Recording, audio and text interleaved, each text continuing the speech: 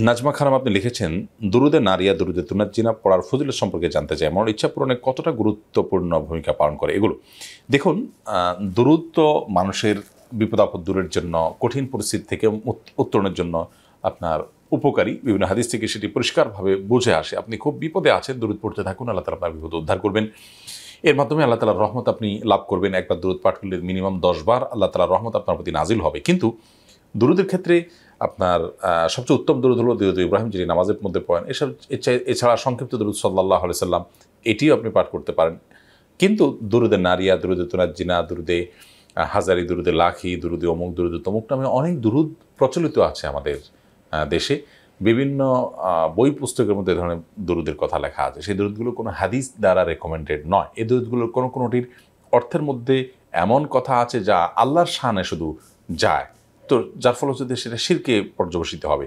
আবার কোনোটি আছে যেগুলোর অর্থের মধ্যে শিরপূর্ণ কোনো কিছু নেই। কিন্তু সেটা পড়লে ওই যে সুনির্দিষ্ট মনের বাসনা, এতবার পড়লে, এভাবে পড়লে মনের বাসনা পূরণ হবে, এগুলো মনে করার কথা। হাদিসে যেহেতু কোনো ওয়াদা করা হয়নি, কোন কাজের কি হবে, না হবে, সেটা আপনি, আমি নিজে থেকে যদি ঠিক করে নিই, তাহলে সেটি আপনার ভুল হবে এবং ওয়াহির ব্যাপারে নিজের মন গড়া মন্তব্য করা সামিল হবে। এরকম করা যাবে না।